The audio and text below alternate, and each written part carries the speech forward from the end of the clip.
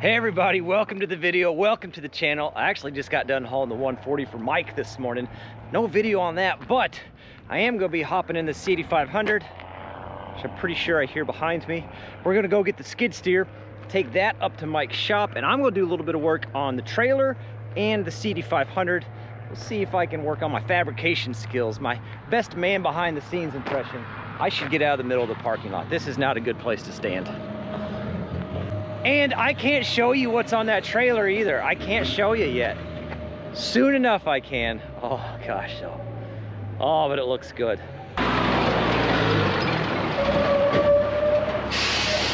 Are you excited about it? Overly excited. Overly excited.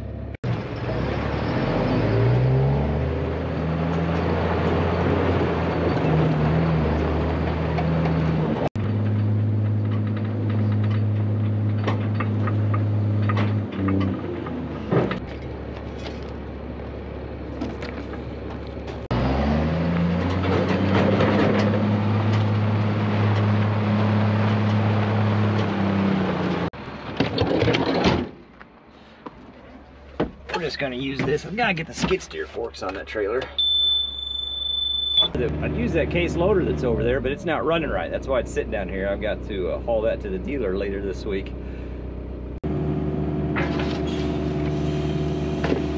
As you can see,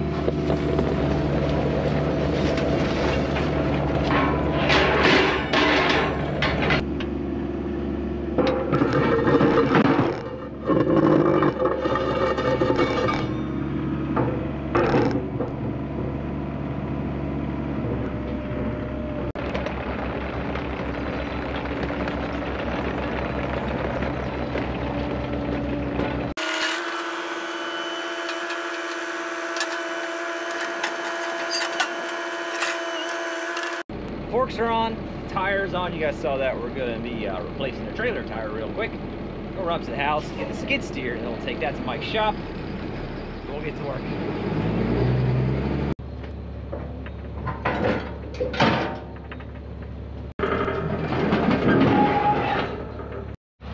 Did give her a little bit of a bath while she was up here. We're doing some work at the house. Hi, Pop. All right, sweetie. We're doing some work at the house. Not pond related, just skid steer happened to be available related.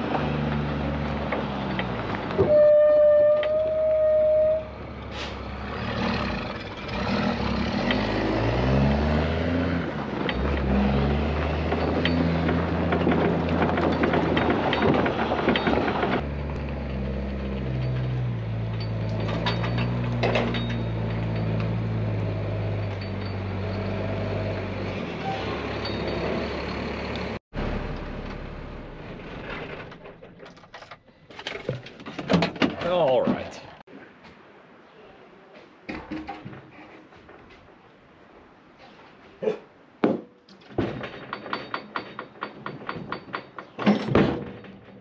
you why. Yeah, that one came apart on us the other day going down the road. Not too entirely sure why, but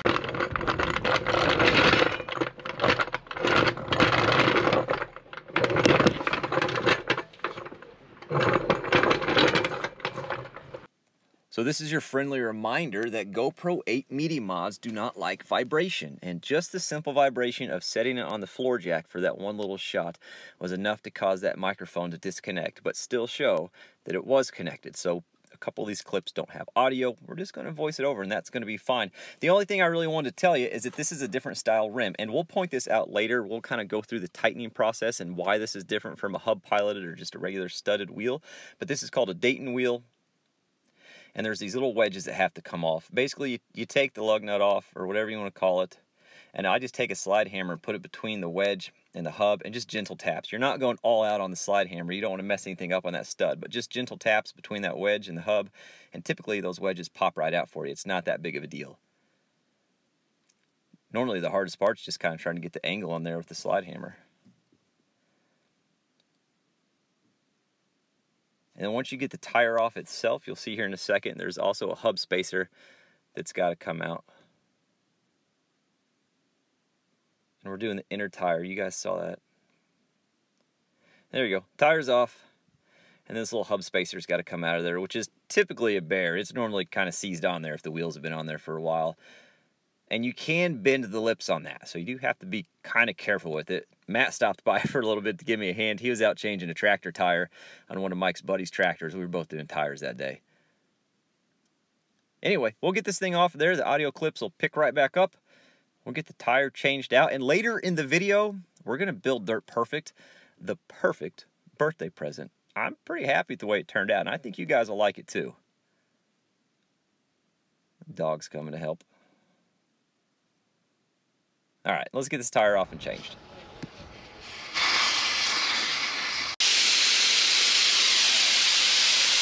And just to save us all the time, I'm just to time lapse getting that off.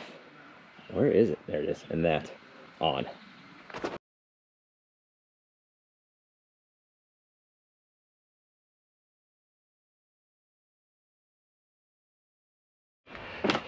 That actually went way better than I expected, to be honest with you. And uh, it's pretty tight on there, so I don't think we'll have any problem getting that bead set. Getting the bead blaster filled up.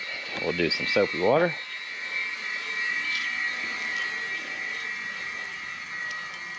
lots of it, you know, just lots of it.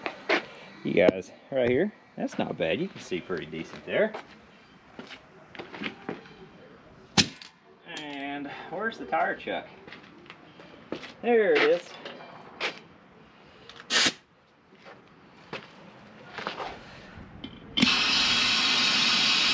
wait a second.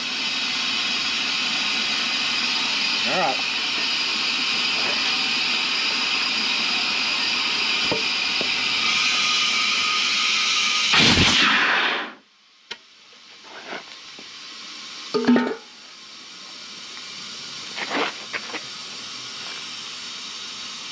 When you guys woke up this morning, did you know the day was going to be so good that we were going to hit the bead in the first hit? Did you know that? I didn't know it was going to be that good of a day. Oops. You just got to make sure the valve stem is between these and you're good. Who's talking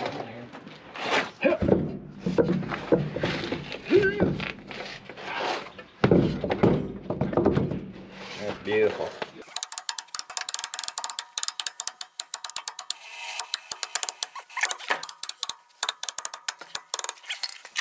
So the GoPro 8 Media mod cut out on us again, but that's okay. We can just voice this part over. Basically, I'm just explaining this is a different style wheel than what is on his other trucks and trailers. This is kind of an older style. It's called a Dayton style, just kind of like Dayton, Ohio, I guess.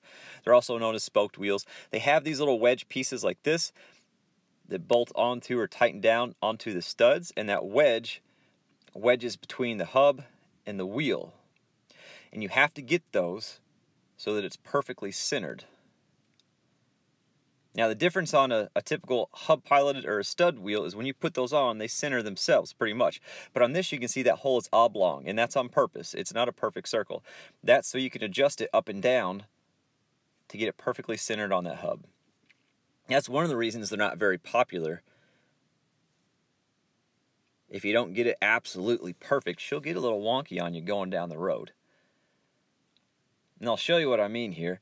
You see I've got the speed square. Pick any of those lines on there. All those lines are the consistent. They're consistent all the way around. Now, as I spin the tire, you're going to see how those lines travel up and down the speed square. That's showing you that that wheel is not perfectly centered on that hub. Like I said, they're just hand tight right now. I haven't gone through and started tightening them and pulling it the way it needs to go.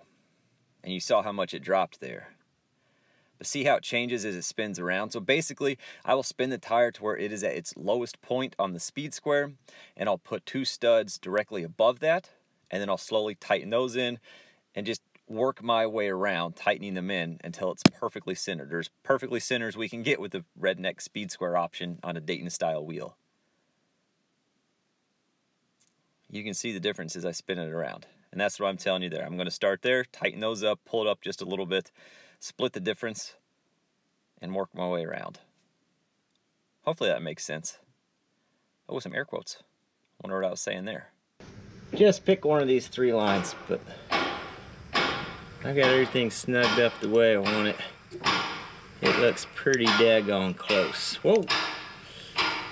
Slapping the speed square on me.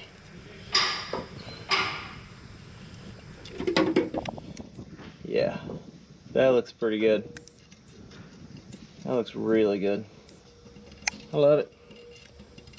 Absolutely love it.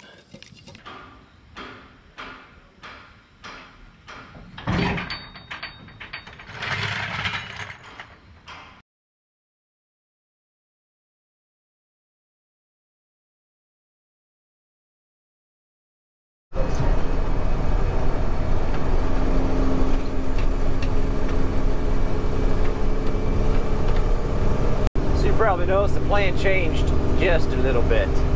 I'll explain here in just a second, but we're going to pick up the John Deere 120 from ERB Equipment in Evansville real quick. And then we're gonna do something pretty fun. I'm pretty excited about it.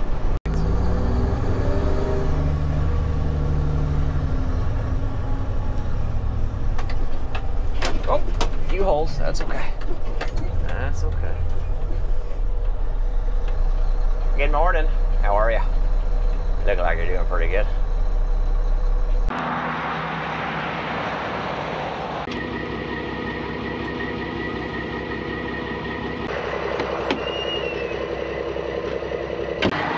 Okay. Let's see what we got here.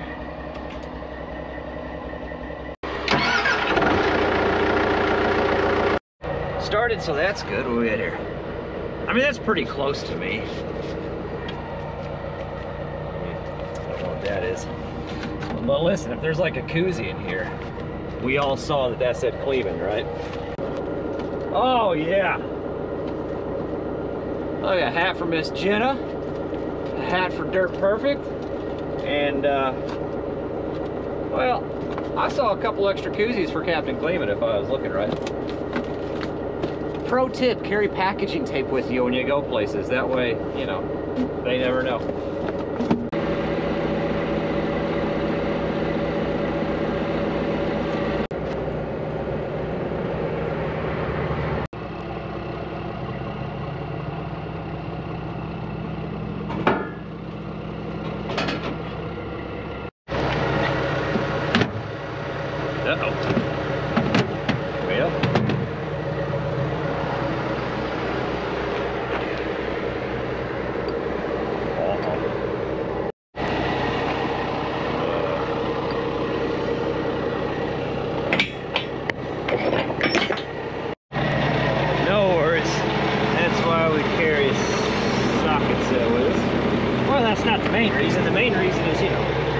truck. But we've got it, so it should be 9 sixteenths. And it is. Perfect. That'll work. You guys having a good morning so far? I hope you're having a good morning. I'm having a pretty good morning. Beautiful day. It's supposed to be like mid-70s.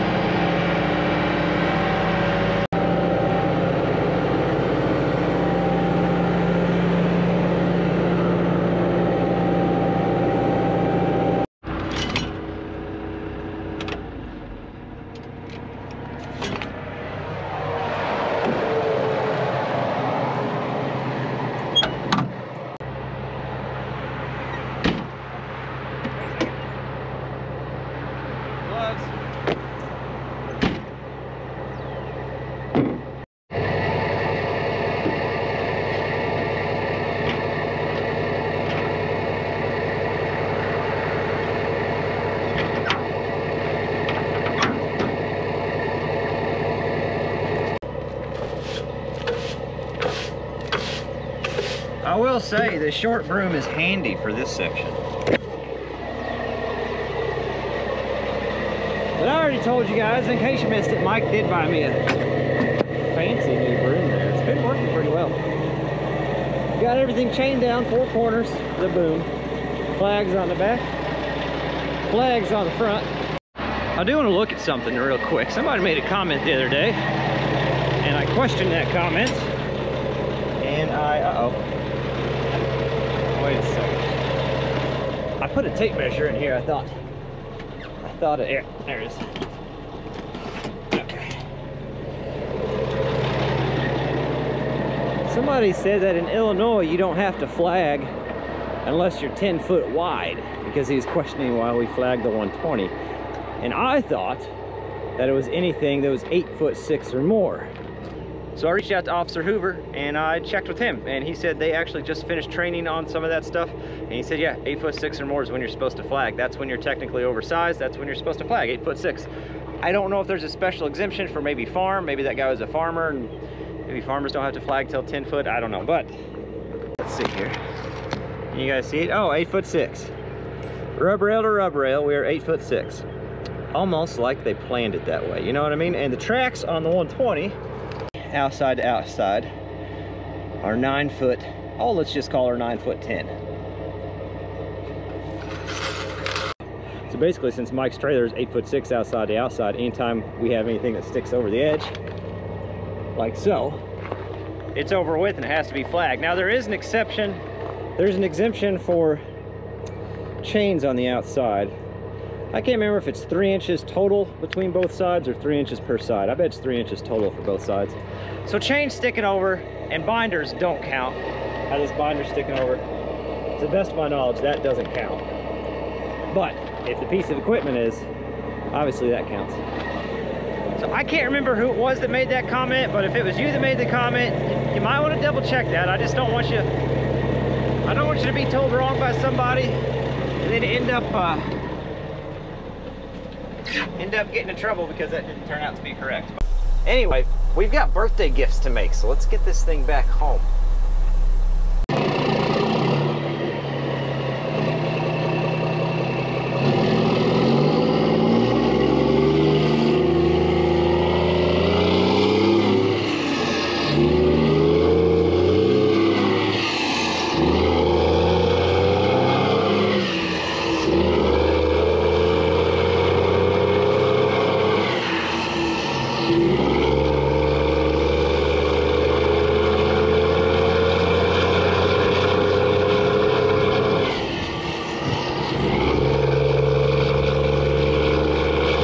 We're getting ready to get on the interstate. Thought I'd just pull over check my chains real quick before we hop on. Everything looks really good still. By the way, if you're a road engineer, if you could make on-ramps with enough room so we could actually get off the dang road, that would be pretty cool. I would really like that. I would really like that.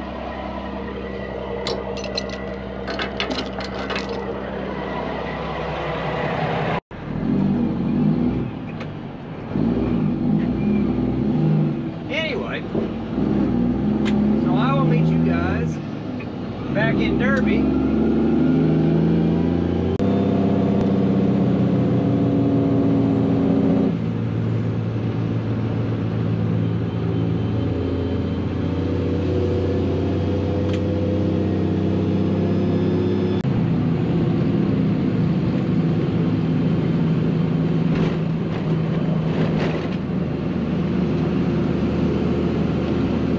So we got the 120 back to the lot, which is awesome.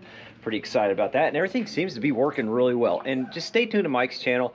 I could try to explain what was wrong with it, but I don't know. I'm not that mechanically inclined. I'm not gonna be able to explain it right. I'll say something wrong. Just stay tuned to his channel. He'll explain everything, including the relationship with that dealer. You guys made the comment. Yep, that is the dealer he's had issues with in the past.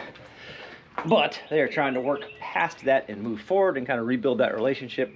You'll hear more about it and more accurately about it on his channel, so stay tuned for that. We did not get as much done on the C8500 and trailer as we had hoped. We just, we had a lot of rain days this week actually, which was kind of a bummer.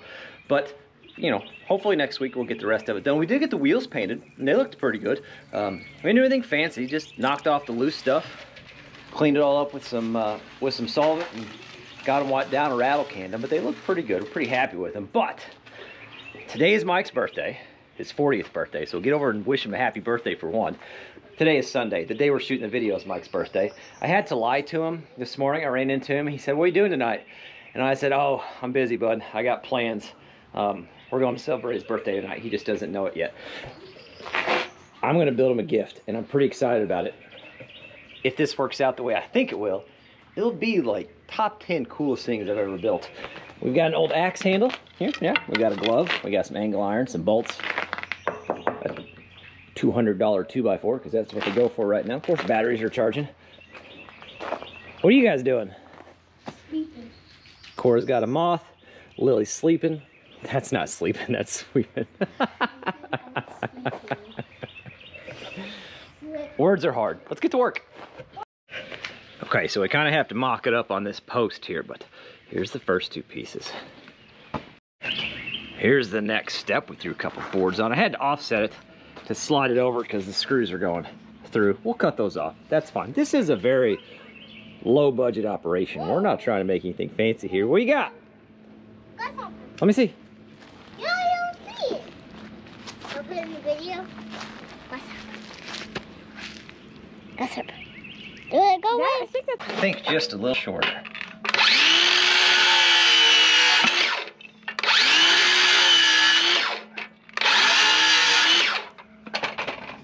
Yeah, that looks pretty good. And you drill a hole in this thing too.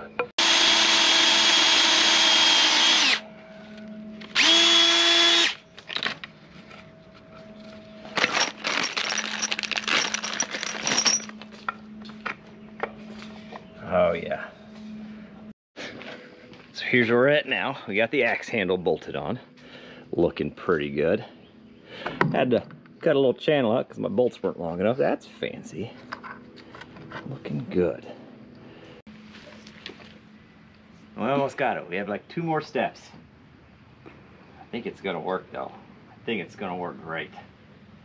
Oh yeah. So far, it's working perfect. Just a few other little touches. Snug some bolts up. and I'll give you guys the demonstration.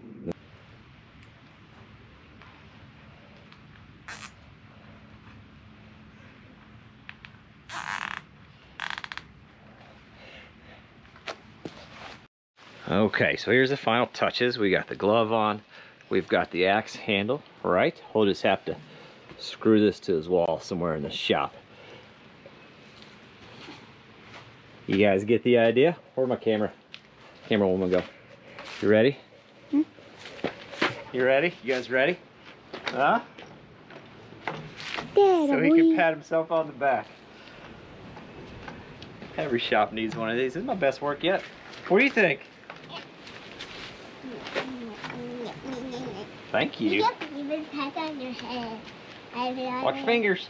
I could put on your head. Yeah, yeah, yeah, yeah. I. Yeah, so I'm pretty happy with that. That should be a lot of fun. It should get some good laughs. That's what it's all about. I hope you guys enjoyed the video. I know it was a little bit random, as always, I guess, I suppose it always is. But, you know, we got a little bit of trucking done. We got the 120 back. Everything's running, working great. Cannot wait to get that thing back in the dirt. We got this fun little thing made for Dirt Perfect. And as far as the channel, there are some big things coming up. Things you guys don't even know about. We haven't even talked about them yet. We haven't even mentioned them yet. We've kind of been keeping it a secret, making sure it's all going to work out. But it happened, and we're excited about it. And we'll share it with you real soon in the future. YouTube yacht work coming up, Dirt Perfect work coming up, pond repairs coming up, a lot of big projects going on.